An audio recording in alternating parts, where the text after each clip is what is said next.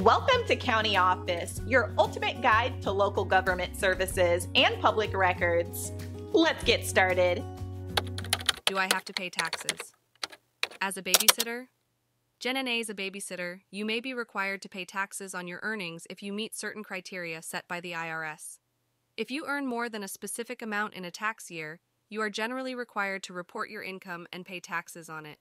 The IRS considers babysitting income as self employment income if you are an independent contractor.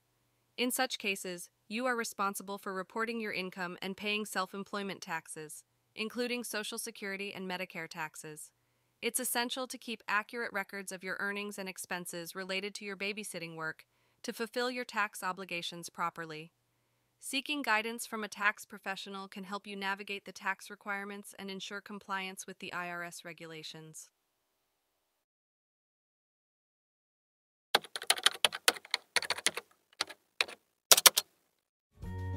To learn more, check out these links, which you can click in the description below. And feel free to comment your questions. We're here to help. Thanks for tuning into our video. Please like and subscribe and leave a comment below. See you in the next video.